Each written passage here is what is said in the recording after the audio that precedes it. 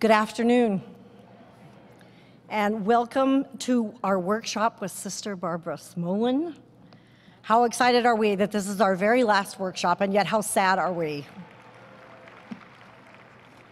My name is Sue Spies. I am a member of Padre Serra Parish in Camarillo, but I am also honored and privileged to be here today as a member of the Office of Religious Education. Before we begin, let us just take a breath and together remind ourselves that we are always in the presence of our good God. And let us pray.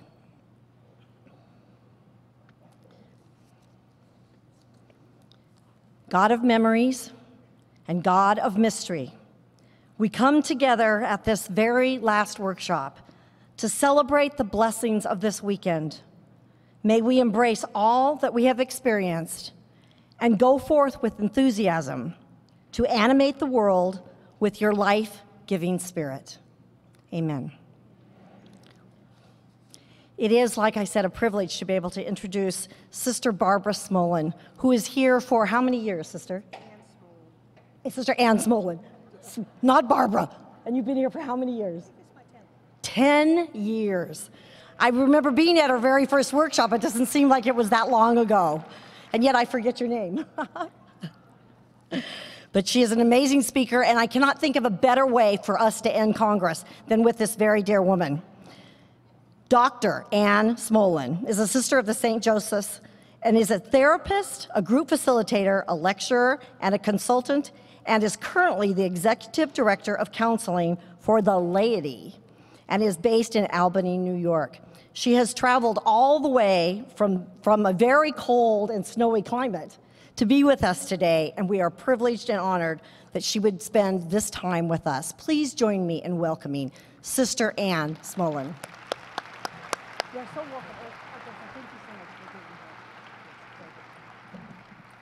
Here's your water. Okay, good.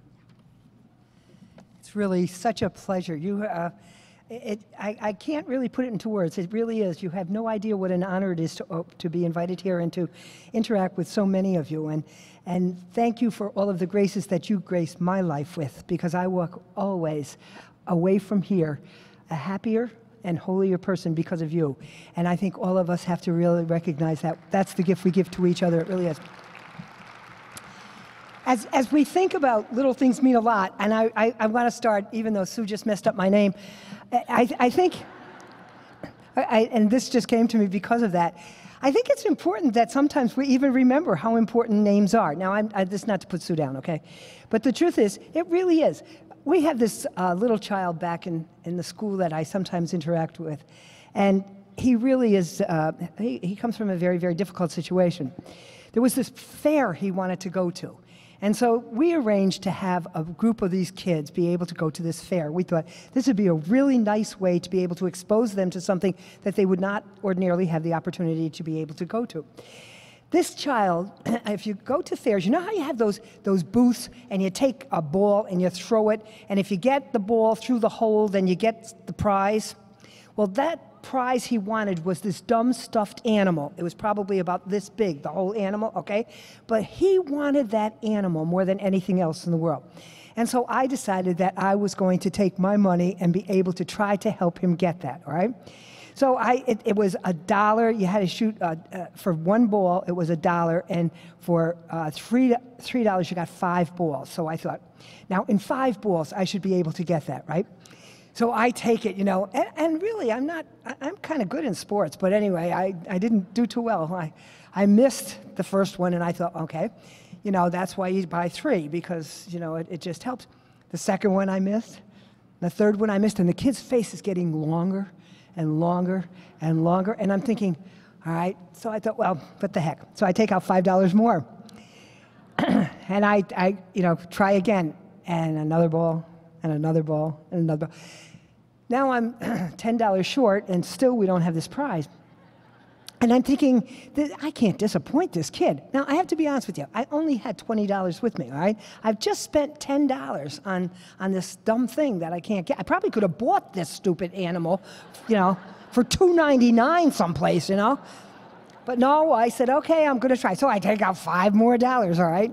And this person that's with me says, Are you a fool? What's the matter with you? You already spent $10. I said, But look at the kid's face. I mean, he, he doesn't have anything. I mean, at least, I, what the heck, you know, kind of. It was on the fifth, uh, the, I, I, shot nine balls. It was on the ninth ball that the thing knocked over a, a, some kind of bottle that then went into the thing, and we got the prize, all right? I know. It was, it was wonderful. So we get this dumb little animal. I'm telling you, it, it, you could put it in your back pocket. It was so small, you know? You would have thought you gave the kid $5 million, really and truly, you know? So on the way home, he sat next to me on the bus, and he got talking. And I said, and he just held on to it like it had such value and such, you know. And so I said, Tell me about that. Tell me why it was important that you had that. By the time we sat on that bus, he had already named the animal. He gave the animal a name. He said, This is Georgie. I said, Georgie? Yeah. I said, Oh. And he says, I love Georgie. Georgie is my friend. And he had created a world around Georgie. And all of a sudden, when I realized that it was Georgie it took on a different meaning for me. And now I'm looking at this dumb animal that cost me $15, and, and I'm thinking, Georgie has a value. Do you know what I mean? And I think that we don't think about little things like that. You know, little things like names when we put a name on something or on someone, you know, when we give someone that little gift, I think what we do is we enter a mystery and we don't think about the little things that really create that mystery, that really and truly are the, the things that are right in front of us. It's not the big things, it's not big awards, it's not naming things, it's not, you know, it's not huge kinds of things. It's tiny little things that really always happen in front of us. I wanted, to, though, to start with this lovely, lovely little story. The teacher asked her second grade class what each student wanted to be when he or she grew up a football player, a doctor, a policeman, a fireman, an astronaut, a teacher, came answers from all over the classroom. Every second grader responded except Timmy. Timmy just sat quietly in place. So his teacher said to him, Timmy, what do you want to be when you grow up? Possible, Timmy replied. Possible? asked the confused teacher. Possible, Timmy said. Timmy, what do you mean you want to be possible? Well, Timmy explained, my mom is always telling me that I'm impossible. So when I get big, I want to be possible.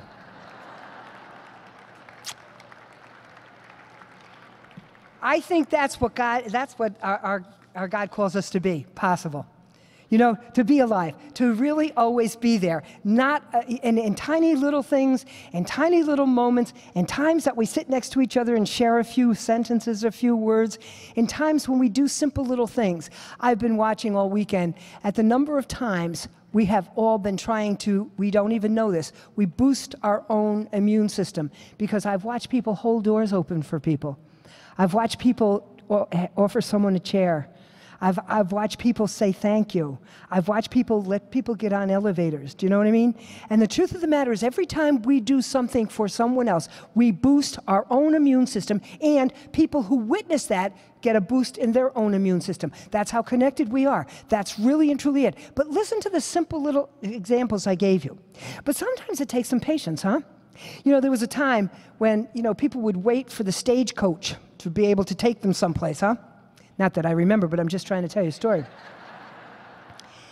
they would take, and, and if they missed it, it was no problem. They just waited six months more for the next one to come around, you know, kind of thing. Now watch the impatience when we have to wait for elevators or you have to stand in line and wait for an escalator, huh? Or, or we, don't, we don't recognize those sacred moments of waiting those sacred moments of waiting, when really and truly people start to engage in conversations. How many conversations have you had on the elevator since you've been here? We've had quite a few. Now, we've tried to collect money for people who've gotten on the elevators each time. We keep telling people it's only $5, step right in, step right in, you know, kind of thing. But you know what it does?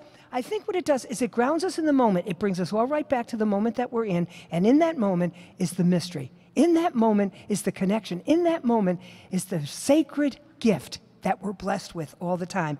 And I think we really can always find that. You know, we, we just really do it. I don't, it's not in big things. It really isn't. It's in tiny little things that we really see each other.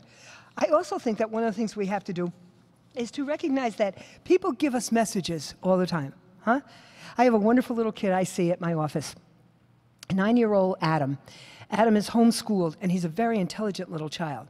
He uh, is always telling me, he's told me how I should vote in the last election and why I should vote the way he thought I should vote. Um, you know, he's, he's, he's really quite an interesting kid. But he came in the Tuesday before Ash Wednesday and he said to me, I just want to tell you something. Nobody's putting any of that dirt on my head. And I said, What? He said, I'm not going to get that dirt on my head. Nobody's doing that. And I said, Adam, I said, it's really not dirt. Let me tell you what it is. I know what it is. I said, Well, they burn the ashes. And then they take it and they, they bless you with the. I said, It's dirt and they're not putting that dirt on my head. And my mother said, It's okay. I said, Okay. I thought, back off. You know, there's no sense in really uh, pushing it name further. But he said, I don't want you to feel bad because I'm giving up something. I said, Oh, good. He said, Yes, for two weeks, I'm giving up mac and cheese. Now, that's all this kid eats, right? He says, I'm giving up mac and cheese for the first two weeks of Lent. But that's about as long as I can do it, he says. So he says, the next four weeks, I'm giving up candy. I figured I could be able to do that one. I said, Well, that's a wonderful thing. And I thought, listen to the wisdom of this little child, huh? I only can do something for two weeks, and yet that was a sacrifice for two weeks for him. Mac and cheese is the only thing. I'm telling Thanksgiving dinner is mac and cheese. Christmas dinner is mac and cheese. That's what he eats. And I thought, what a sacrifice on his part. And, and yet, what we do is we, we pass by those things like, oh, the kid just doesn't want that, whatever really happens. And what, what happens is we have to really focus on whatever is in front of us because those are the little things that open us up to our God and to each other. It opens it up even as we even I started off by saying how important a name is. Do me a favor. Turn to all the people around you, front, side and back and find out their names. Make just don't be sitting next to people you don't know. Talk talk to them for a minute.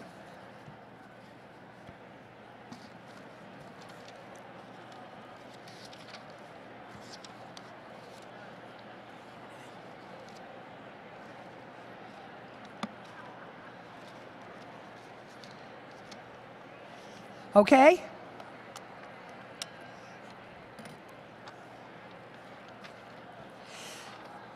Front, side, and back. Make sure you know the people in both sides of you. Now, I'm going to ask you something. As you did that, I would hope you also did something else. I would hope that you looked at them. Because it's in looking at each other that we give each other the dignity of personhood and recognize the gift of personhood in that other person. And so we look, you, our God gave us our eyes to see, to see the beauty in creation and the beauty in the people that sit right around us, all right? And then we used our ears to hear, to be able to hear the names of the people who are around us. Now, maybe they told you the right names, maybe they didn't. Who knows? It doesn't even matter. It doesn't matter. Maybe you finally called yourself the name you always wanted to be called. It doesn't matter. What matters is we made the connection, and it's in that connection that we bless each other. It's in that moment, that little tiny interaction, that we really find the meaning of what's supposed to happen right in front of us. It's in simple little things.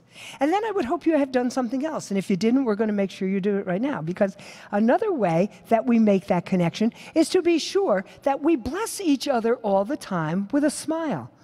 Did you ever notice how wonderfully warm you feel inside when you smile? Because you swallow that energy and you light up your brain and you really and truly bring health into your own body, but you also bless the other person with life. When we take the time to smile at someone else, we're acknowledging the very person that's in front of us.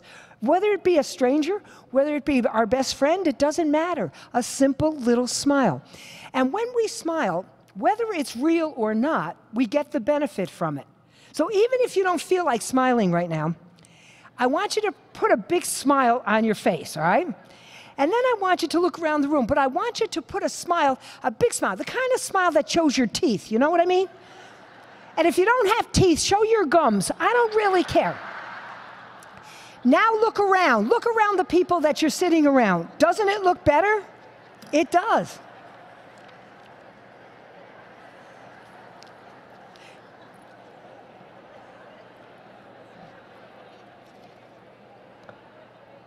It does. It does. And you know what? Even though it's kind of dark out there, the truth is we still can feel it. You can feel an energy. That's it. You see? It's in these little things, these tiny little things. We're always looking for big messages. We don't need big messages. We just need these tiny little moments, these little things that touch our hearts and our souls and helps us know that we're really alive to the gospel message that's in front of us. And we can only know that when we recognize that in each other, when we really and truly recognize that in each other. So it comes across in many, many ways. I have a wonderful story, a true story, I want to share with you because I think sometimes people get terribly discouraged. We get stuck in places. We have, we have many, many things that happen in our life, and in, in those things that happen, sometimes we forget that we can take a situation and we can really be able to make some choices, grow with that situation, and watch what happens. And this is a real story. A man named Bob May, depressed and brokenhearted, stared out his drafty apartment window into a chilling December night. His four year old daughter, Barbara, sat on his lap, quietly sobbing. Bob's wife, Evelyn, was dying of cancer. Little Barbara couldn't understand why her mommy could never come home. Barbara looked up into her dad's eyes and asked, Why isn't mommy just like everybody else's mommy? Bob's jaw tightened and his eyes welled with tears. Her question brought waves of grief, but also of anger. It had been the story of Bob's life. Life has always been difficult for Bob. Small when he was a kid, Bob was often bullied by other boys. He was too little at times to compete in sports. He was often called names he'd rather not remember. From childhood, Bob was different and never seemed to fit in. Bob did complete, did complete college, married his loving sweetheart, and was grateful to get his job as a copywriter at Montgomery Ward during the Great Depression. Then he was blessed with this little girl, but it was all short lived. Evelyn's bout with cancer stripped them of all their savings, and now Bob and his daughter were forced to live in a two room apartment in the Chicago slums. Evelyn died just days before Christmas in 1938. Bob struggled to give hope to his child, for whom he couldn't even afford to buy a Christmas gift. But if he couldn't buy a gift, he was determined to make one a storybook. Bob created an animal creature in his own mind and told the animal story to little Barbara to give her comfort and hope. Again and again, Bob told the story, embellishing it more with each telling. Who was the character? What was the story all about? The story Bob May created was his autobiography in fable form. The character he created was a misfit outcast like him. The name of the character? A little reindeer named Rudolph with a big shiny nose. Bob finished the book just in time to give it to his little girl on Christmas Day. But the story doesn't end there. The general manager of Montgomery Ward caught wind of the little storybook and offered Bob May a nominal fee to purchase the rights to print the book. Wards printed Rudolph the Red-Nosed Reindeer and distributed it to every child visiting Santa Claus in their stores. But in 1946, Wards had printed by then had printed and distributed more than 6 million copies of Rudolph. That same year, a major publisher wanted to publish the rights and buy them for, from Wards to print an updated version of the book. And in, and in an unprecedented uh, gesture of kindness, the CEO of Wards returned all rights back to Bob May. The book became a bestseller. Many toy and marketing deals followed, and Bob May, now remarried with a growing family, became wealthy from the story he created to comfort his grieving daughter. But the story doesn't end there either. Bob's brother in law, Johnny Marks, made a song adaptation to Rudolph. Though the song was turned, by, turned down by many popular vocalists like Bing Crosby and Dinah Shore, it was recorded by a singing cowboy, Gene Autry. Rudolph the Red-Nosed Reindeer was released in 1949 and became a phenomenal success, selling more records than any other Christmas song with the exception of White Christmas. The gift of love that Bob May created for his daughter so long ago kept on returning back to bless him again and again. And Bob May learned the lesson, just like his dear friend Rudolph, that being different isn't so bad. In fact, being different can be a blessing. I love the story. I love it because doesn't it give hope? What a beautiful story. What a beautiful story. Those tiny little things that we give, those tiny little things plant seeds, huh? He created this, this wonderful story, gave it to his daughter because he had nothing else to give, he thought. But think of the value of that gift. Think of the heart and soul that went into that. You do that too. You, you reach out to others. You touch each other's lives and plant seeds. And we do it in little ways. We do it by perhaps making a phone call, maybe even if you don't feel like it, huh? We, we do it by maybe jotting a little note. Notice I did not say email, I said jotting a little note. There's still something to the fact that you get something in the mail. There really is. And we can recognize that. The research is still indicating that for us, really.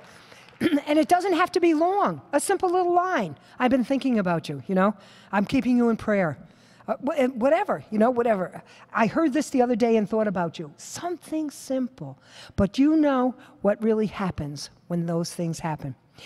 My mom had fallen last year and had uh, two, uh, two fractures in her pelvis and had to go to rehabilitation she, we put her in a marvelous, marvelous facility back home called the Teresian House. And there she really and truly, although they told her she would never leave there, eight weeks later she walked out with her, her uh, walker. And she can walk faster than all of us, I'm telling you the truth. Can't keep up with the lady. But, but anyway, this is a story I want to tell you. My mother, during that time, I watched. I watched how people interacted. I watched how simple little things happen, huh? how seeds were planted, how things were just turned around. Because so very often, when we find ourselves in facilities where we just go and visit people, you know, you watch the different reactions of people. Valentine's Day had come that year, and uh, last year, and one of the people that happened to be at mom's table received a Valentine. When she came in for lunch, she had the Valentine in her hand. She put it down at the table. I happened to be over there with mom and I brought her over and I said, Oh, I said, Ida, you got a Valentine. Yes. And she handed it to me. And I said, Would you like me to read it to you? Yes.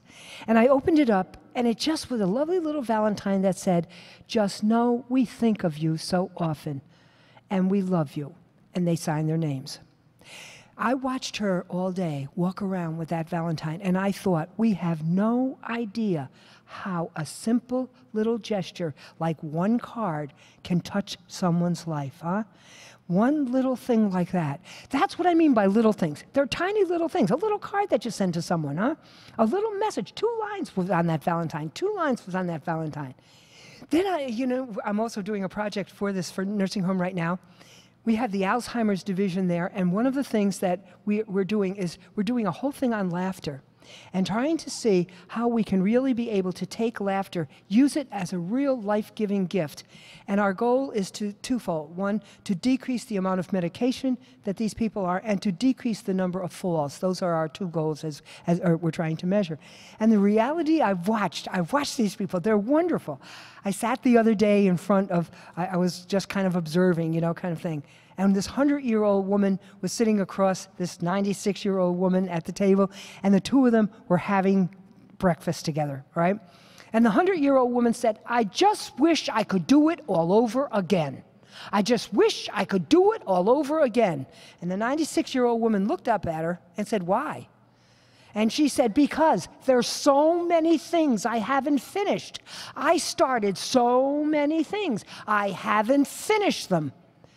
This 96 year old woman put her spoon down, looked at her, and said, Look, we all start a bunch of things. There's lots of stuff we don't finish, but you know what? You did the best you could, the best you could. And what I want to tell you is let it go. Let it go. I thought the wisdom of this 96 year old woman who has Alzheimer's. Do you know what I'm saying? And I think what we do is we hold on to those things. We don't look at the little things that we've accomplished or we give. The gifts that we give enrich our own lives. It's important for us to acknowledge that because it's a way that we can be of service to someone else, that we can make a difference in someone else's life. A simple little gift, huh? Whether, again, it's a smile, whether it's a little note, whether it's taking even a few minutes to take care of ourselves. Now, how do we do that? Because you see, if we don't keep a little bit of laughter and a little bit of humor in our day, we're not going to make it. We're not going to make it. I've watched you. I've watched you walk around and I've watched some of you smile. And there's even been a few I wanted to walk over and say, Is there some way I can help? Because, but you know, and I'm not putting them down. We don't know what's in everyone's heart here. We don't know the concerns people have. We don't know the heavy things people are dealing with. But we do know that everybody came here for a reason. We all know that we came here so that we could walk away from here differently, and we all are. We all walk away because we've been touched by each other's lives. We've been touched by the energy that's around. We've been touched by the beauty of prayer. We've been touched by the kind words people say to each other. We've been touched by sharing maybe a sandwich with a friend, huh? Maybe we've been touched by making a new friend. Maybe we've been touched because our lives have reconnected with people that we haven't seen for a while. It matters not. We touch each other's lives. And so, yes, we are all walking away from here. If you were in my talk yesterday, you know that you had to give 12 hugs a day to just be healthy. I have to tell you that I received 24 after the talk because people kept walking up to me and I kept saying, This is great. That's the best thing I ever did. That's the best thing I ever did. But I, I didn't see anybody hugging each other today. So I don't know. I mean, don't make it short lived. Keep, keep the energy going because touch is so important. You know, to hug someone is really and truly to, to touch their heart in a very different way. And, and so we need to do that. We need to, we need to be connected, but we need to be able to recognize that gift of laughter and the little things that happen, the little things that are in our life, the little things that we trip over, and we will trip over them. They're there. We will trip over them. And we'll open up ourselves to healthier things. Because when we do that, our world becomes so much broader. It's so important for you and I to stay that open so we can hear God's message in everything. Not to be narrow, not to look at only one way of doing something, not to keep that vision so, so, so real close that we miss all the other things that are going on. Our perceptual world is so important for us to look at, and it's something you and I can be aware of. We can keep that world open. We can listen to each other. We don't have to, we don't have to agree with each other. We just have to accept each other. We don't have to agree with each other. We have to accept each other. And we can only do that if we keep that perceptual world as broad as possible. We listen, we hear, and we get enriched. We get enriched. I love the story about this guy. He's in prison for life and he decides he's going to create a goal for himself. He's going to see if he can dig a tunnel. I mean, maybe it'll work and maybe not, but what the heck, he's in for life anyway. So every night he goes down, he digs a little bit more, digs a little bit more, digs a little bit more. After years of digging, all of a sudden he sees the sunlight coming through the ground. He realizes he's created this tunnel. He comes charging through the ground, screaming, Free, free, free. I'm free at last. There's this little kid standing on the side. She's watching this guy come up through the ground. She puts her hand on her hip. She says, You think that's good? I'm four. It's in our perceptions, huh? It's in our perceptions. And one of the things we have to do is stay open. Listen. You know, listen when you get on the elevators later on. Listen to people as you're riding behind them on, on the escalator. You know, listen as people are walking out. Listen to what people say. You're going to end up smiling. I was laughing at somebody today. They don't even know I was laughing. But, uh, but part of it was the story was hysterical. And, and I thought, I love it. You know, I, I was wishing they shared it with me. But, but I, they did share it with me. They just didn't know. And, and that's what I mean. I don't care where we get it, we got to grab it. It doesn't matter where we get it, we've got to grab that energy in the little things that are happening right in front of us. Now, there's a lot of reasons that we are so serious. And so I, I, I tried to come up with a couple of them. And I think we have to look at why we don't laugh more often. And I, I think one of the reasons is because many of us tend to take ourselves so seriously. We do, you know that we have to be, you know, very serious and we have to do it. I think people in church ministries think that they're supposed to be serious, you know? I think that, that, that uh, people who are holding positions, whether it be on boards of directors, think they have to be serious. You know, I think teachers think they have to always be serious. I'm not sure that's true. I don't think we get half as much done when we walk around with that attitude as when we really and truly stop taking ourselves so seriously and just recognizing that if you make a mistake, you make a mistake. It's not the end of the world, you know? It's not the end of the world. But when we take ourselves seriously, you choose then to hold on to anxiety. You choose to hold on to fear.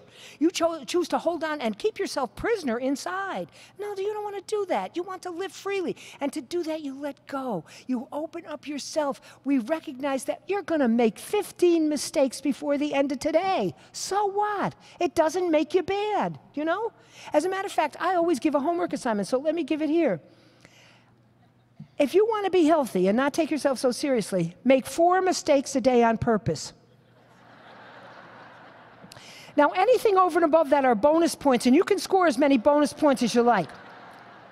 But you got to make four a day, okay? And by the time you're on your seventh, you're even laughing at yourself. I mean, what else is next? Number eight. You know what I'm saying? So, really and truly, treat yourself to really choose to be healthier people and not take yourself so seriously. I think we have to wake up every morning and decide that guess what? The world's not only on my shoulders. You know, I just happen to be blessed with many people in my life who really and truly I'm going to interact with today, and I'm going to get many graces from them, and hopefully they, graces can come through me. But I don't have to take myself so seriously. I'm not doing it all. I'm not doing it all. Now, I know Jim Martin thinks he's going to be the next pope, but you know he's not. I mean, just because he knows how to do this, you know what I mean? Come on, come on, you know, that kind of thing. But you know what? We can't take ourselves seriously. We can't. We just have to recognize that we are who we are, and the gift we are this very second is the gift we are to give to someone else. And so, if you trip, if you bang, you knock over a glass of water, it, you know, if you happen to bang into somebody on the way out, it's not the end of the world. It's not. And we have to really stop taking ourselves so seriously. I think we're afraid to look foolish in front of other people. You know, we think, oh, if, if we're laughing, then we're foolish. Oh, no. Oh, no. You look at where you put your energy. If you have a choice, and there's a group of people over here that are laughing and having a wonderful, wonderful time, and there's a group of people over here that look like their faces could stop an eight day clock, which group do you want to belong to? Which group do you want to belong to? Do you want to give your energy to a group that really is already negative? I don't think so. What we want to do instead is to really be much more positive and not and don't care if you look foolish because it's that energy. People say, "Wow, they're having a good time." Not too long ago, a friend of mine died, and uh, it wasn't one of the four friends I talked about yesterday. But anyway, I went to another wake. We specialize in wakes these days, I think, but that's a different story too. And we, I happened to meet two people that I hadn't seen in a while, and the line was kind of long going in. So we got talking. By the time we got into, say, a prayer, we had shared so many stories and we were really having a good time. And so we weren't in any hurry to kind of leave. So we went out into another room and we sat in the other room and we continued telling stories. We were hysterical. We were absolutely laughing. It was the healthiest moment, was. Until a person came out of the other room and asked us to leave the funeral parlor because they told us they wanted to say a rosary and we were making too much noise and, and they couldn't say it. And we went, oh, okay, okay. So then we got outside and we said, we just got kicked out. I mean, you know what? We just got kicked out. And, it's and all three of us were sisters. That's even worse. And, and you know, and, and, and we're saying, holy Christmas, what do people think, you know? I mean, really, we should, we should have been much more serious. And, we, and then we said, why? Why? Because the person who had died probably would have been kicked out with us. That's the other piece, you know? And so, so I'm saying, don't care if you look foolish. Don't care if you look foolish. Any stress that we hold on to keeps us from finding any type of humor or joy in front of us. Now, some stress is good, some stress we need in our life, but when we choose, this is another barrier to, to why we, we're so serious. We hold on to that stress and negativity, and therefore we don't see what's really right in front of us. Because then we get into negative thinking. And we know negative thinking clogs the brain, huh? You hang around with negative people long enough, you're going to be negative yourself. You're going to swallow that negative energy. You're going to be sick. You're going to be physically sick because that's the payoff of hanging around with negative people. I always say negative people, you can always identify negative people because they're great whiners. They whine. All right? Nothing good ever happens to me. I never get picked for any committee. You know, they whine. You want to say, get off the cross, we need the wood. You know what I mean? Now, I think another reason that we block humor in our life is because we're, we're filled with a sense of responsibility. I'm not saying we're not responsible people, but I think responsibility often brings the need for us to look stern and serious. I think that's what we think. And I'm not sure that's true. I'm not sure that's true. But again, I think it's a barrier because, and so check it out in your head. That's what I'm asking you to do. You know, because I'm responsible, because I have to do it, do I have to look like I'm busy? Do I have to look like I'm serious? And you know, busyness isn't always a gift not to ourselves or to others, huh? Because we run out of energy. You run out, you don't see what's really going on. So it's, responsibility doesn't always do that. I think technology plays a role in this. I think it dehumanizes us so that we become humorless. And I think we need to look at that. Now, I'm not against technology. I, you know, I, I'm not good at it, but I, I try, all right? And it doesn't make me bad. I just don't, I'm not just good at it at all. But but if we had some time, I think it takes time to really get good at it. But don't spend all your time in front of screens, you know, because the truth is you'll be depressed yourself. That takes a lot of energy and a lot of negative effect goes into your body when you're not interacting with people. We have to limit the amount of time that we use with our technology. I think it does human, it does uh, dehumanize us. It really keeps us very, very separate from each other. Is it a gift? Of course it is. It's a way to stay in contact with people all over the country. You know, you can send emails to people, we know that you know, we can send, we can even Skype people and be able to see them. Now, I think that's a better thing than just sending an email because at least you can see the person. You can be able to, you know, uh, be able to connect with that person. But you know, it, it doesn't always work. I told the story yesterday, but let me tell it. I don't text. I don't text because it, because I choose not to, okay? I just choose not to. Now, everybody who has children tells me if I had children, you would text because that's the only way they'll stay in touch with you. Well, maybe that's true. Maybe I don't want them to stay in touch with me. I don't know. But the other thing is, it drives me crazy when I go into a restaurant and sit down and the whole family is sitting there with these little machines in their hand and nobody's talking to each other.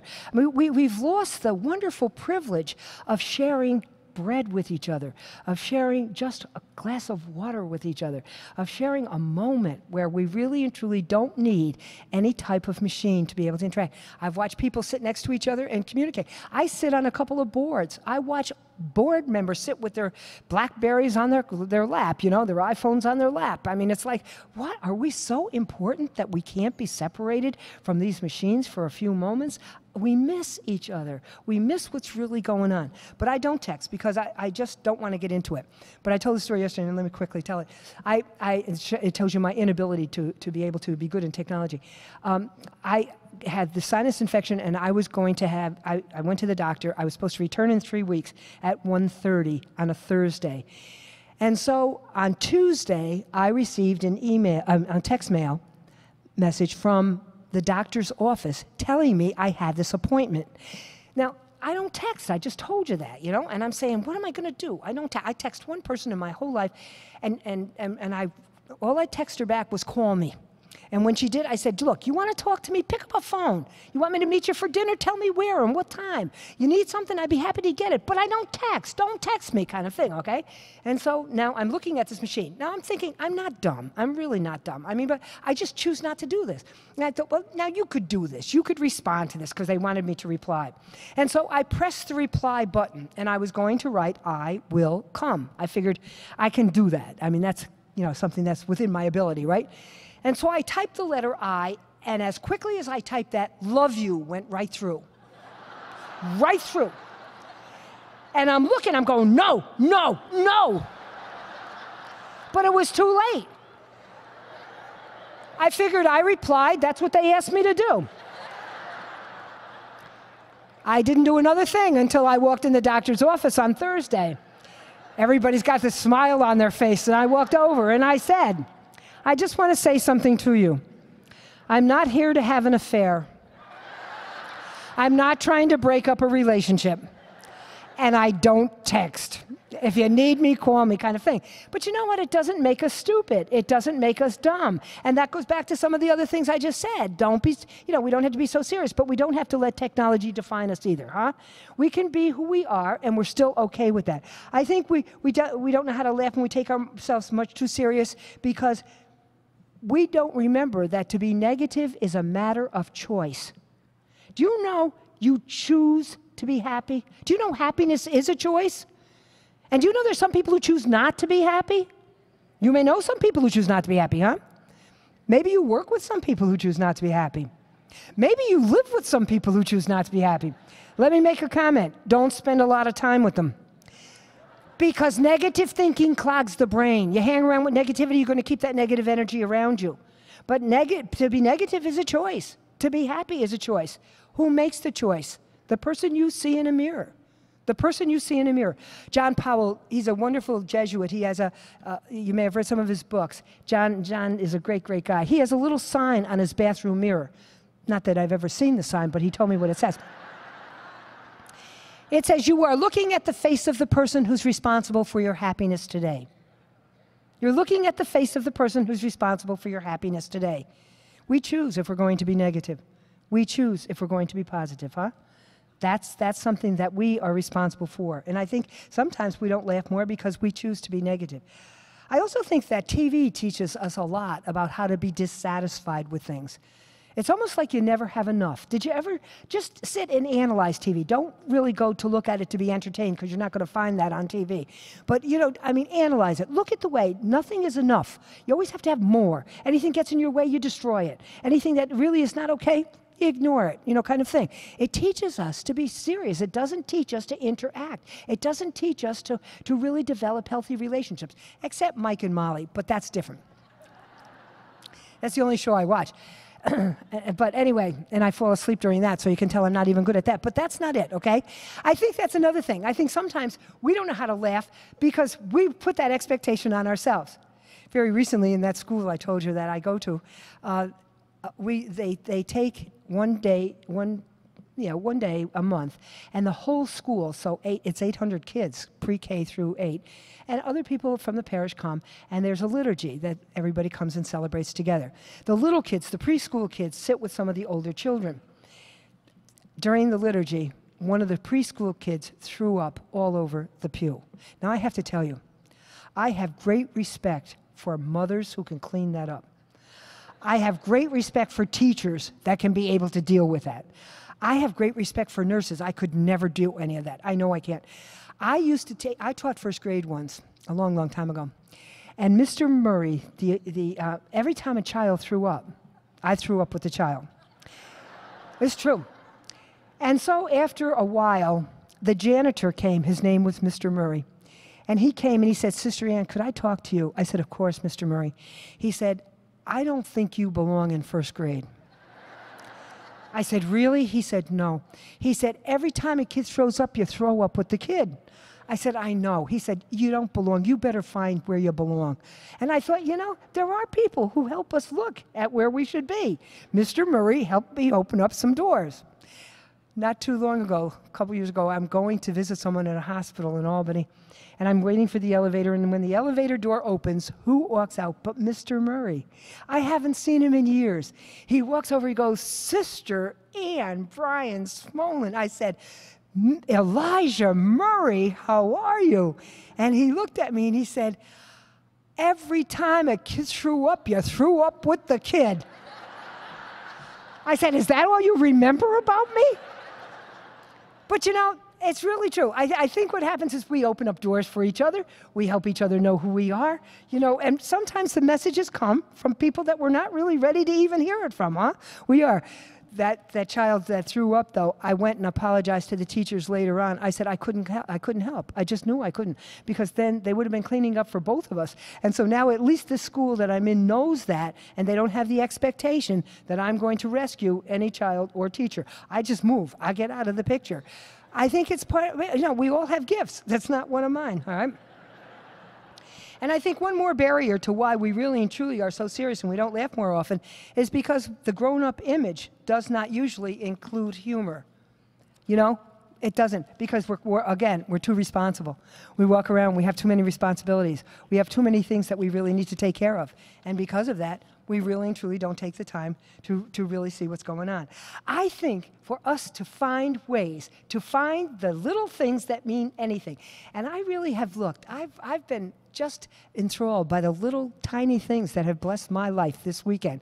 Not only many of you not only people who I've stopped and talked to, and people have talked to me, the times we've interacted in elevators with strangers, people we didn't know at all, people that really and truly, you know, just kind of are sitting there having a sandwich and you stop and you uh, chit chat for a few seconds. But then the beauty of this place, the beauty of the surroundings, the palm trees, I realize you see them all the time. We don't. And I look at them and I think, aren't they beautiful? Look at them. The glory, how God created that beautiful palm tree that just stands in awe of the Creator. It is so beautiful. And then the beautiful flowers. I know I'll never walk by a bird of paradise and not stop and look at it. They're beautiful. We don't have them back east. And so for us to stop, you know, and to see it, you have real flowers growing out of the ground right now. We have 16 inches of snow. Do I appreciate the snow? Yes, because that's also a gift. I love the snow. I really do. But and, and it's a gift. We know how to deal with it. It's really not a problem. It's the ice and the sleet and the freezing rain that create a problem back east. It's really not snow. Snow never creates a problem. But there are other things too, the awareness of it. Last year, my friend Sister Rosalani came to visit me from Hawaii. And I picked her up at the airport, and it was snowing, okay? Now, that's a treat for someone from Hawaii to see snow. It's really not uh, we get used to it. It's like all of you. I'm sure you get used to these palm trees. You don't look at them anymore. You don't look at the birds of paradise. You don't look at the beauty that's surrounding you. So we don't look at snow all the time. Now, when it first comes, it's beautiful, but snow doesn't last white too many days, all right? Because there's plows that come and push it over, the cars drive, and because and then it, it does it's no longer white snow, so it's not always as attractive. All of a sudden, I'm pulling out of the airport. I wasn't even as far as, as you know, the Marriott from here. And she let out a scream you could have heard back here. I thought, what did I hit, you know? I said, what's the matter? What's the matter? She goes, a snowplow. I've never seen a snowplow. I said, really? That's what you're screaming about? A snowplow? Now, I have to tell you, we have lots of different kinds of snowplows. I never even paid attention to the number of kinds of snowplows we had until she let out that scream, you know? As a matter of fact, I had a goal, but I didn't get it done for her this year. I was going to make her a calendar with all the different snowplows on. I was going to go around taking pictures. But that's what I mean. It's little things. It's those tiny little things. She opened up my level of awareness to the things that are all around me. How do we do that for each other? How do we stop each other and say, look at the beauty in that?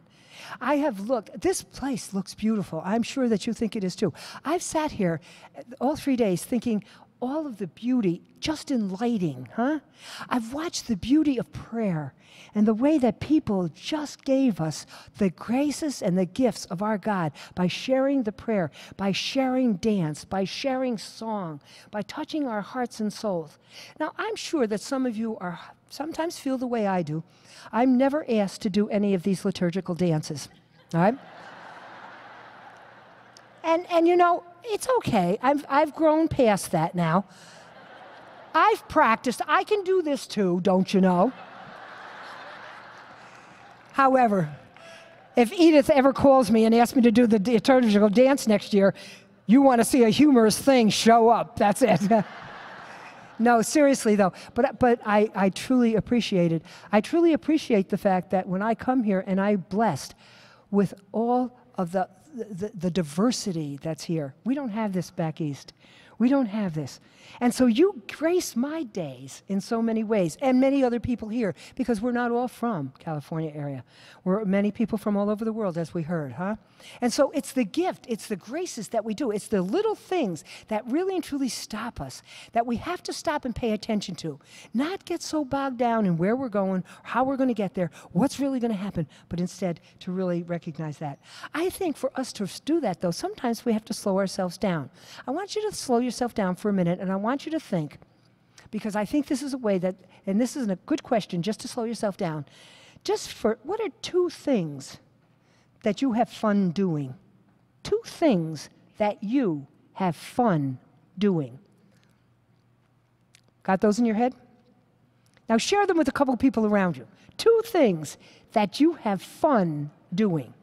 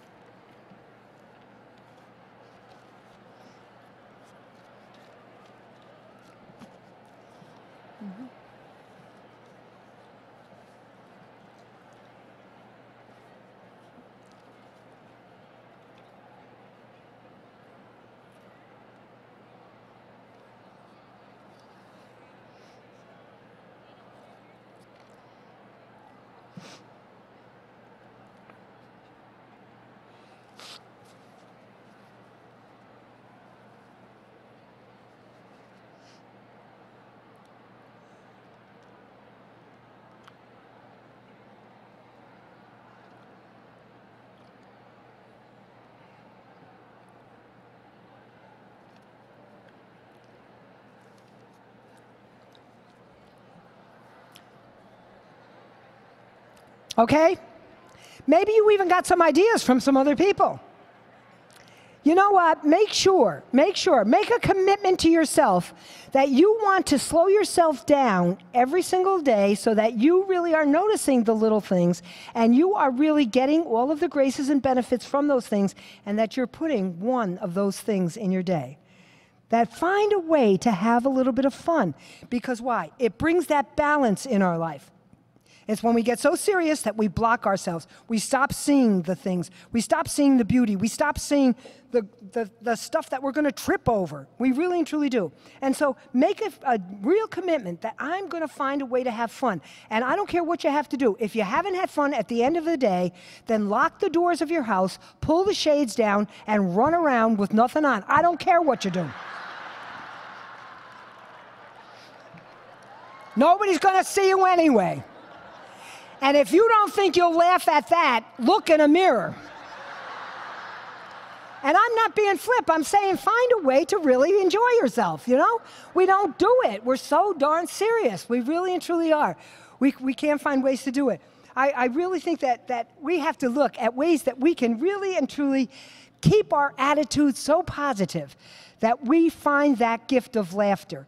And remember, laughter is something that we have to put in our day. It doesn't happen. We have to put it in our day. It's like a vacation. You don't plan it, it doesn't happen. If you didn't plan on coming to Congress, you wouldn't be here, huh? I mean, the truth is, we have to plan things, we have to put them in our day. So, too, we have to put that gift of laughter in our day. We have to make a conscious choice to surround ourselves with, net, with positive people, with people who give us energy, not people who drain us. They're going to be in our path. We're going to find those people. We don't have to look for those people. What we need to look for are the people that give us life, people that really and truly keep that positive energy around us. And I always give this homework assignment. This is not negotiable. You have to have at least two laughing buddies two laughing buddies. Now, for those of you that were in yesterday's workshop, you had till 7 o'clock last night to get two laughing buddies. All of you, including the ones in yesterday's workshop, have two. You, so now you're going to have four. Have to have two laughing buddies by 7 o'clock tonight. We all have cell phones. Pick up a phone. Say to somebody, guess what? I had to have a laughing buddy, so I have to make sure I, you know, I get that laughing buddy. Get as many as you can. Get as many as you can.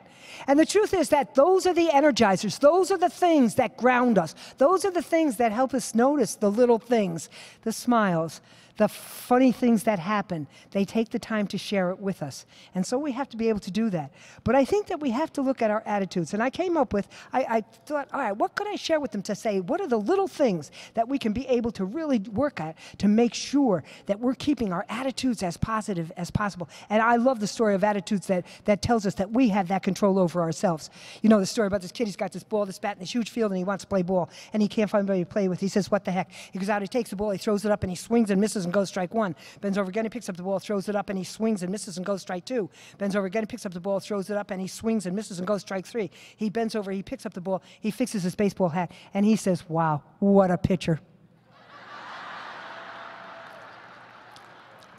You got to keep that attitude, huh? We got to carry a little stick in our head that goes from one to 10. Everything in life doesn't deserve an eight, nine, or 10. Some stuff deserves a one, two, or three, huh? We really do. And attitudes are important things. They, because they shape our thoughts. They start to really and truly, to, and our minds are so powerful. But our mind, our, what we put in our thoughts become our behaviors. And so we need to know what our attitudes are, and we have to keep our attitudes positive. And we have to find the little tiny things in front of us that give us that joy and give us that energy that's really right there. I'm not trying to imply that we do everything alone. We had, you know, I love the, the, the study, and it has been validated again. The person sitting next to you right now, right now, is affecting your mood. We have a great effect on each other. Maybe some of you want to change seats. Or maybe you're sitting between two people and you got a 50 50 chance of picking up something good. Because the truth is, it really, we do have that effect on each other. We do. We really and truly do. And we call forth gifts from each other. We really and truly tap each other. Just like Mr. Murray helped me know I didn't belong in first grade for my whole life. So too do people touch our lives often and help us see what doors we need to walk through. It's in those little messages, in those tiny graced moments, in the tiny little things that are right in front of us that happen. I love a story about this piano bar, and everybody goes to this piano bar to hear this guy play. Every night, this, this place is packed. It's so filled, it's not funny. People just go. He plays beautifully. After a couple of months, one of the faithful patrons goes to the owner and says, Go get that guy to sing something, will you? He plays beautifully, but I'd love to hear him sing something. And so the owner goes over and he says to the piano player, That guy wants to hear you play, sing something. Guy says, I don't sing, I only play. He says, I don't care. That guy comes in here every night. I don't want to lose his business. Now, I'm telling you something. He wants to hear you sing. I don't care what you sing, I don't even care what it sounds like. But if you want to be paid tonight, you sing something. And he walks away the piano player started to play Sweet Lorraine, and it was the first time anyone ever heard Nat King Cole sing in public. What would have happened if no one ever asked Nat King Cole to sing in public? Now, these people that are young enough here are saying, Who the heck is Nat King Cole? Ask your grandfather. Anyway, let you know, go ahead. In all honesty, in all honesty, though, we do. We tap each other. We help each other. In affirmations, we help each other grow. When people say good things to us, they help our self confidence. They help us be able to believe in ourselves. We do the same thing when we affirm other people. When we say good things, we point out things. We point out things they've said, accomplishments they've done, tiny little gifts. There hasn't been one person that hasn't opened a door for me here that I haven't said, Aren't you kind? Thank you so very much. And I mean that because that's an affirmation. There's a kindness, a choice, and having that door opened, huh? And so it's an affirmations that we tap each other's gifts. We bring forth, and the more affirmations people have, the more they believe in themselves, the more they keep repeating that. It's in little things, tiny little things, but affirmations are so important.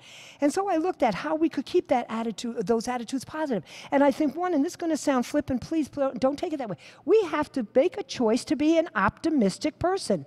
You know, whether the glass is half empty or half full, it doesn't matter two ounces. The glass still got some water in it. You know what I mean? And so who cares? It's up to you. It's up to what we want to do and what we want to see and how we want to believe and what I want to be able to feed my own heart and soul with. There's enough negativity in the world. Turn on the news. How much more can we listen to this? How many more times can we suffer through things like, like Newtown Square? How many more times uh, can we listen to the terrible shootings and things? You know, people back east were saying things like, are you really going to Los Angeles? They don't, they can't even find that guy that's shooting out everybody. I mean, really, you're going there? Like, he's going to find me in this city, right? I mean, really, you know?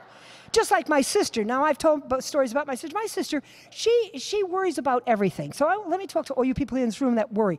I mean, you know, she does. She worries. She sent me uh, on my iPad today a message.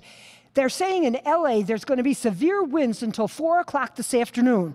There's no way you're going to get out of there and get home. There's no way. Four o'clock, I was leaving at 11. I mean, really.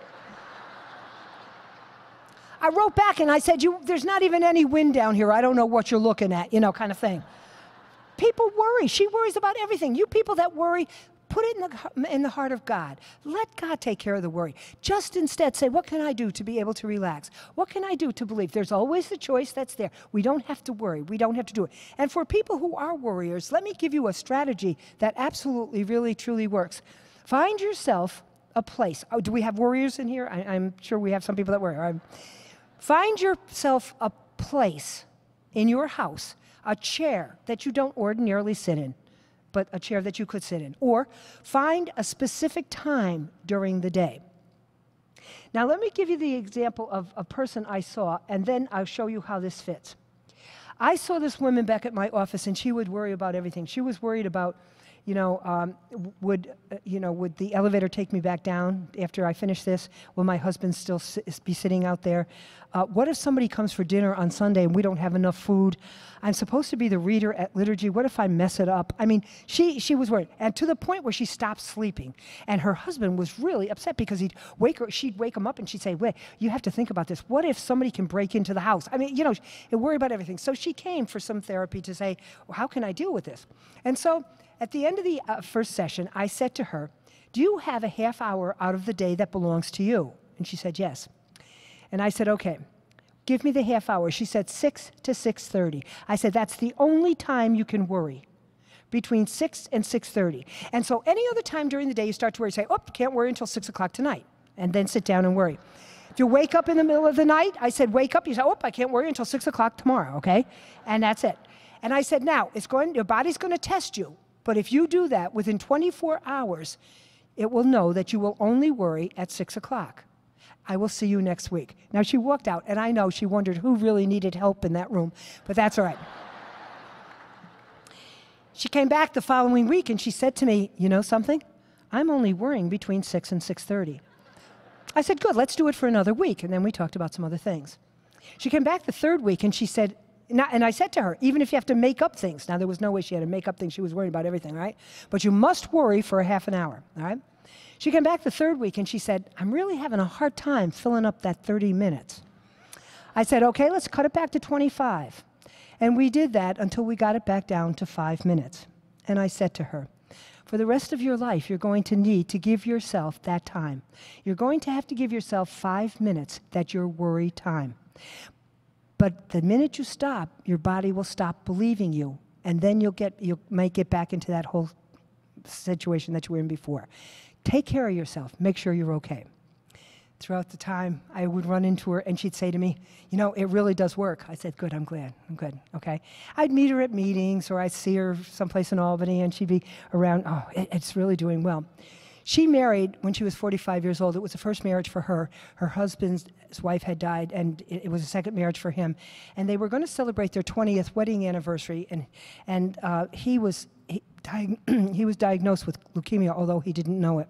And so they decided to really go all out. They wanted a, a liturgy. They wanted to renew their vows. They wanted to really and truly, you know, have a wonderful, wonderful celebration. Her daughter-in-law and son, and, and her son-in-law, he was a, he's a physician, and they were throwing this wonderful time, and the, they said to them, "What would you? Who would you like to be there?" And she said, "I would love Sister Anne to come and do one of the readings at the liturgy." Her sister, her daughter-in-law, turned and said. You can't ask her. She's so busy. You can't ask her. I mean, really and truly. Now, think about that. That's not fair. And Jeannie turned and said, She taught me to ask for what I need. If she can't do it, I can understand it, but I have a right to make that request. And I thought, good for you, all right? Good for you. You're right. She gave me enough time, and I, could, I was able to be there, which was a wonderful gift. And we had a beautiful liturgy. They renewed their vows. And then we had this elaborate dinner, beautiful dinner, absolutely gorgeous, all right, in every single way. At six o'clock, I heard her husband say, Jeannie, it's six o'clock. and I just froze, you know? She stood up and she said, You will all excuse me. And she walked out of the room. Now I just ate with my face down. I thought, I can't look at anybody. What happened? I can't even believe she's doing this kind of thing, all right?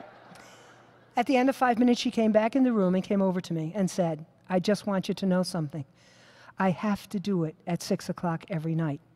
She said, I stopped doing it for a while and I started to get into that. And I thought, no, I can't. I know I need to give myself those five minutes. So even when we go to dinner at a restaurant, I go sit in the ladies' room. Nobody cares that you're in there for five minutes. And she said, I give myself that time. I thought, isn't that wonderful. That's called worry time. And if you give yourself a time, I've done it with younger children, and you can't give them a time. So I give them a chair that they can sit in. It doesn't matter what we do, but designate something for yourself. And then only let that happen. You will be able to be much more in charge of yourself. That's called worry time, and it works. I know it sounds dumb, but it works. It really does. I gave that assignment to a person couple of weeks ago, uh, I said to one of my clients who does not know how to take care of herself at all but takes care of everyone else. And I suspect there are many people in this room that could really understand that role because many of you take care of a lot of people. And women are worse than men because you're great caretakers, so you're uh, always taking caregivers, so you're always taking care of everybody else. But the truth is, she really was stressed high, and she was really starting physically to have some symptoms. And I said to her, Your homework assignment is to make sure that you do something good for yourself this week. And whatever it is, I want to know when you come back. You have to do something just for you. She said, Okay. She came back and she had this big smile on her face. I went out to the waiting room, you know, and I came back in and she sat down and I said, Hi. I said, It's really good to see you. And I said, You, you know, you look a little bit more relaxed. She said, I did my homework. I said, Good for you. She said, Yep. I was good to myself this week. You told me I had to do something just for me. I said, Marvelous. What did you do? She said, I went out and bought a BMW. I said, You did? I said, I thought you'd go have lunch with somebody. You know what I mean? When I give assignments like that, I just think it's little things, you know what I mean?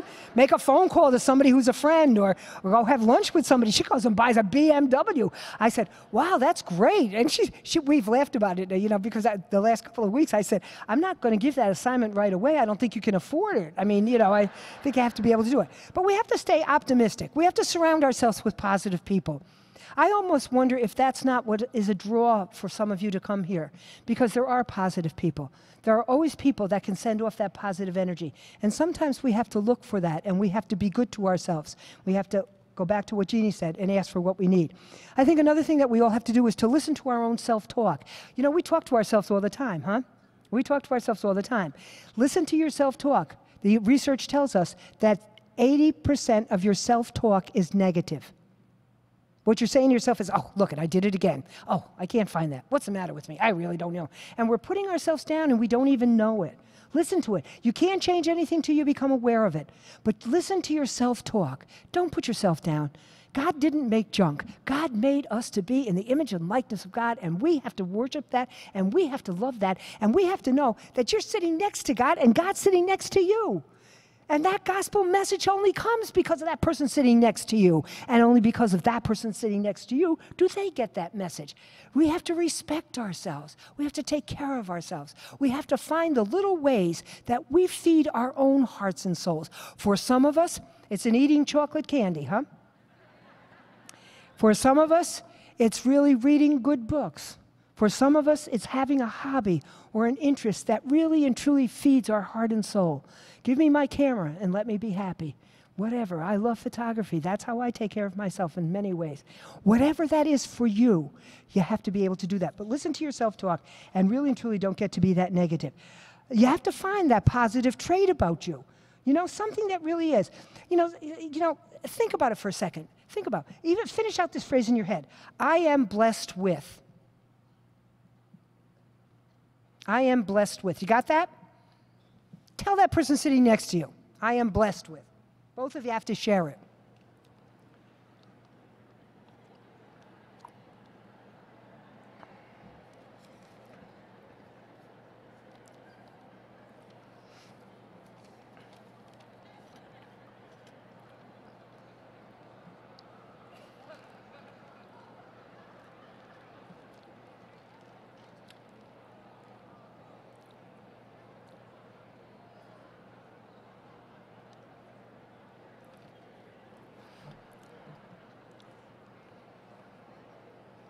All right, here's another question. I'm only going to give two questions. Here's the other one. I do blank so well. I do blank so well. You have to finish that for yourself and share that with the person that you're with. I do so well. Go ahead.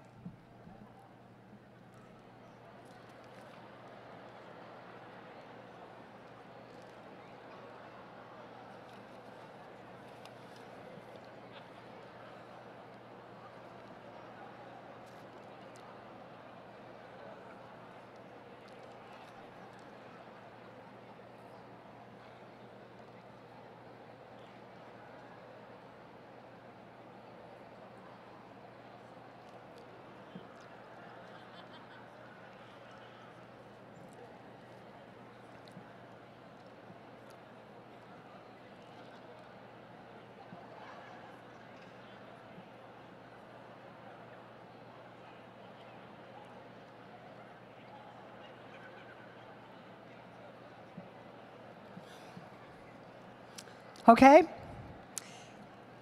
Here's another thing to keep your attitude positive. Here's another thing wish well for others. Researchers tell us that when you wish others well, or you're wishing well even for yourself, a part of your brain lights up. You charge your brain, you energize your brain. Wish well for others, point out things for others. That also says to me to be people of gratitude to be people who really and truly are grateful for all of the graces and things that are in our life. For times people have come into our life, for times people have shared things with us, for times people have, have touched our lives with simple little things like a hug, a smile, a thank you. You know, simple little things. We sometimes think that it comes in being big things. It doesn't always do that. I think we show gratitude when we say grace before meals. How many of us take the time to thank our God? And thank all of the, pray for all of the people that made it possible for us to be able to share that bread and share that meal, to, you know, have worked the, the, the work of their hands, the land, all of the things that really come from that. I think that we treasure an unexpected letter from a friend, and that becomes like, like that Ida back at the nursing home as she held on to that card, that Valentine's Day card. That's it. That's, that's gratitude. It's gratitude. It's holding on to something. How many times do we appreciate a kiss from someone? I told everybody, and I'll tell you all the time every time you kiss someone, you use up 13 calories. If you time it right, you could have hot fudge sundaes. Make it work for you. Make it work for you. Make sure that it does work for you. That's what you have to be. No, I think we have to be we have to be grateful for beautiful music that we listen to. I think we have to hear kind words.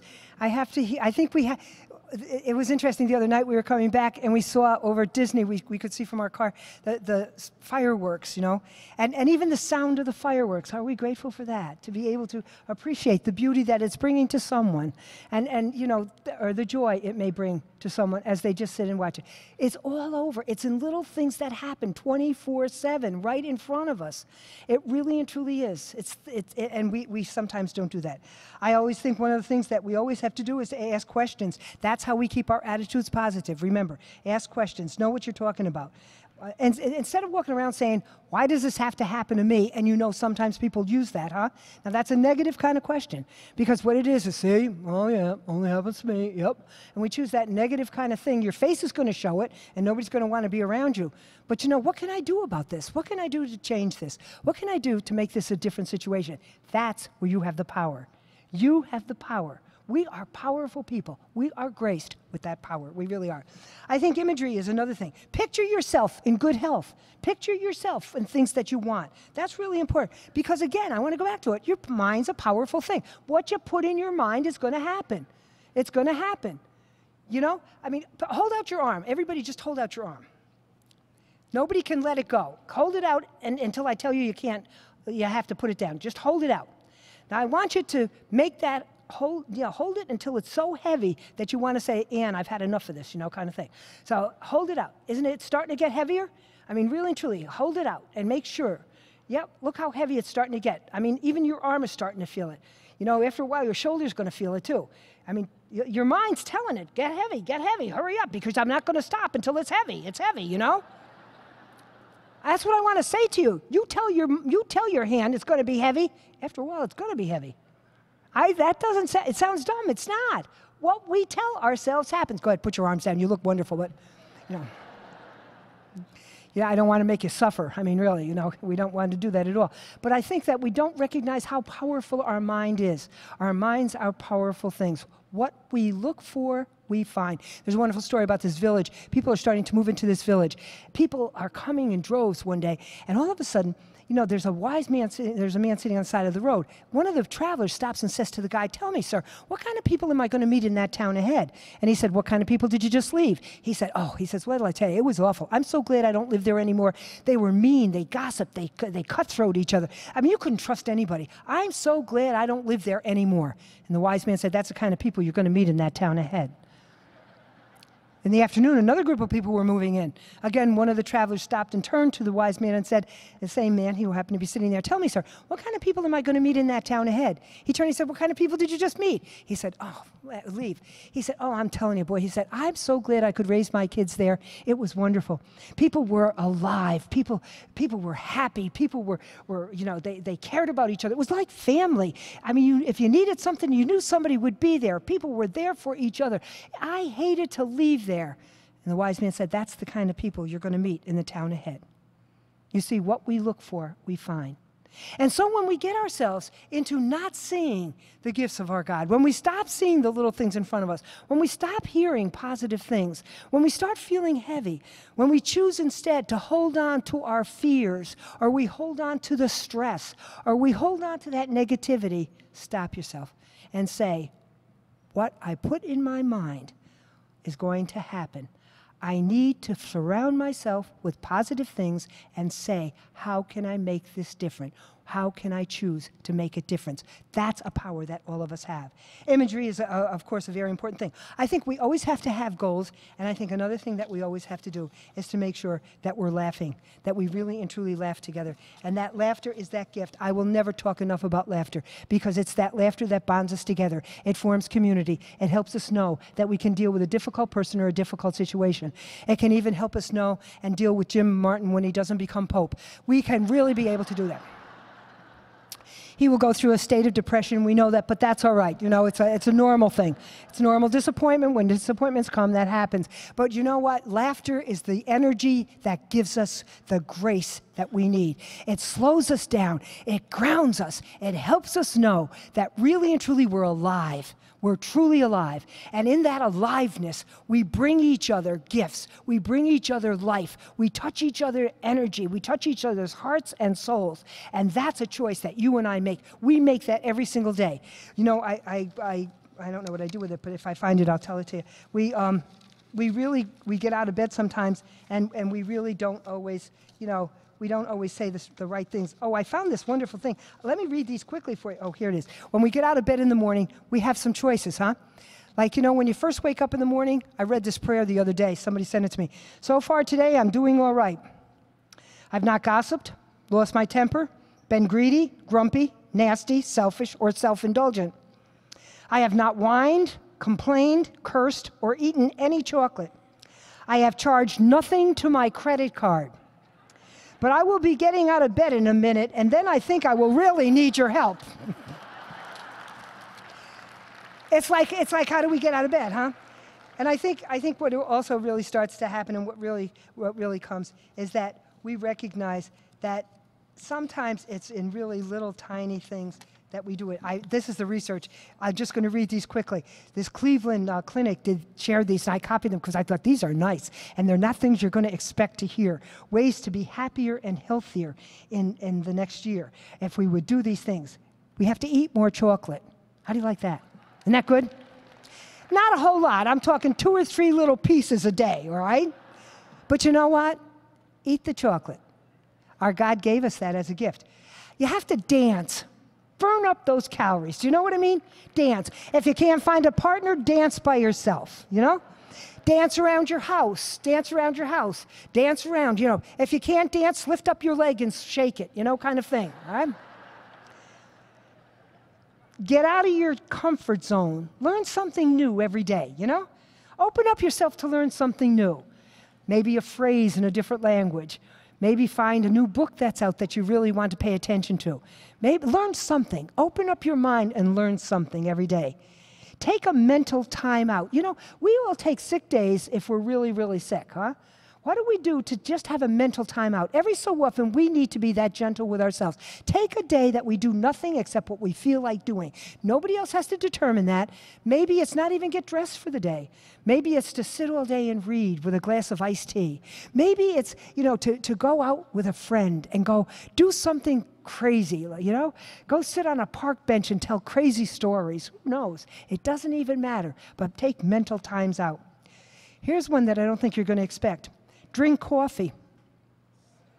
They're telling us, that research is telling us that drink three eight ounce cups of coffee daily can reduce the risk of Parkinson's disease by as much as 40% and Alzheimer's by up to 20%. So, everybody, we drink coffee, okay? We're going to drink coffee and eat chocolate. Think about this, this is good. The research clinic also said go shoe shopping. I'm sure some of you may get excited about that. They also tell you to opt for square toed shoes rather than the pointy versions, but that's different. And then the last one that the research came out with was laugh. And it has so much on the basis of how we take care of ourselves. The clinic says we need to take care of ourselves. We need to find that joy that's there. What laughter does is open us up to the joy that's in front of us, opens us up to really and truly what, what really uh, is, is right there in front of us. I know it's almost time for me to end, but I, can't, I want to end with a story that I kept moving around this page, and now I can't find it, but I will. I think, I think you have to always do something to make someone else a little bit happy. Put, put a smile. You make someone else smile, and you get that gift back, huh? Whatever you give away always comes back. Remember the good old boomerang principle. Whatever you give away will always come back. So make somebody else smile. Make sure that that. You know how do you do it? Think about the people that you love. Think about your family. Think about the people that, that are your close friends. Think about the people that you just can be yourself with and relax with. And you know, think about the, the, the garden that you have that can help you relax.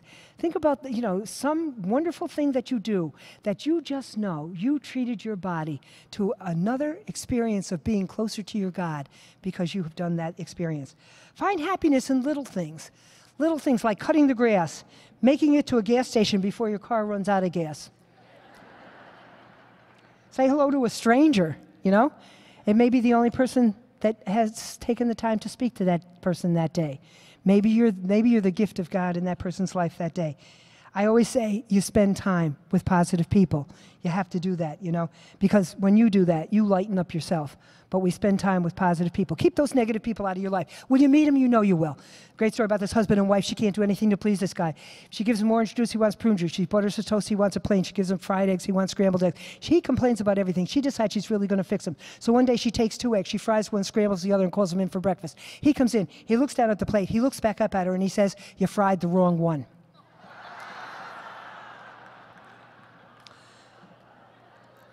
Don't hang around with negative people, all right? I always tell people fire and dump every negative person in your life, really and truly. That's can you do it, all right? You know something? Your immune system goes up when you sing. Do you know that? When you sing, your immune system goes up. You help us be healthier people. But it's not only for them to be healthy, we're called to be healthy people. When we go to a liturgy, we're supposed to be a part of that liturgy and sing with them. They're not supposed to entertain us. You know? So, and, and by the way, you, it, it, when you sing in a group, you even get more benefit than if you sing alone. But if you don't have anybody to sing with, put Johnny Mathis on and sing with him. My Johnny, he's there for me, all right? If you want to be happy, make other people happy. You want to be happy, make other people. These are simple little things. I'm coming to an end, really. Share stories with other people, build memories, be in the moment, the now, right now. Stroke a pet. Enjoy a long hug. Get a massage. Listen to relaxing music. And smile, because smiling raises the level of happiness for us. And so, as we think about the little things that are in our life, how we really and truly can keep ourselves healthy, how we keep ourselves balanced, how we really and truly, it comes in choices, huh? It comes in the choices that we make.